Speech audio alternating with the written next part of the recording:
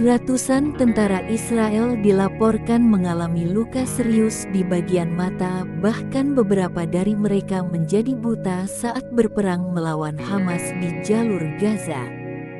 Demikian dilaporkan oleh media penyiaran Israel, kan pada Kamis tanggal 7 Desember tahun 2023.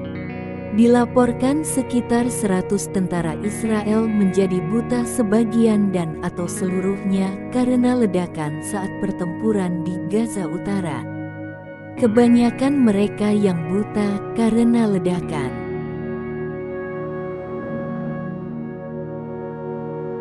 Sebelumnya dilaporkan militer Israel di Gaza digerogoti penyakit mematikan. Tak sedikit tentara yang mengalami diare, penyakit menular lainnya hingga keracunan makanan. Sejak perang pecah tanggal 7 Oktober, banyak restoran dan individu menyumbang makanan kepada pasukan Israel yang kemungkinan terkontaminasi selama persiapan, transportasi atau penyimpanan. Talbrosh Direktur Unit Penyakit Menular di Rumah Sakit Umum Asuta di Ashdod menjelaskan diare telah menyebar di kalangan tentara di selatan, di berbagai wilayah konsentrasi.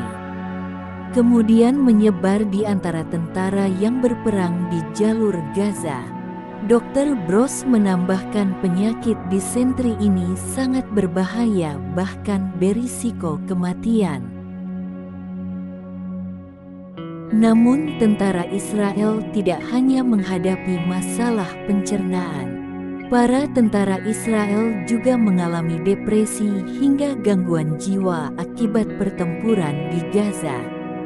Setidaknya 2000 tentara telah menerima dukungan psikiater sejak awal operasi pada tanggal 7 Oktober.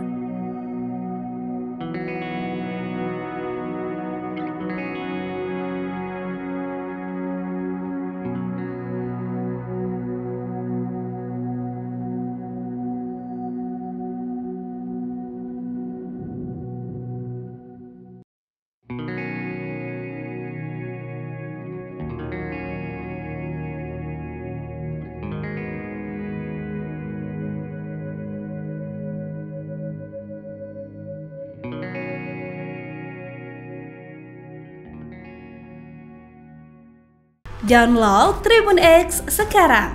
Menghadirkan lokal menjadi Indonesia.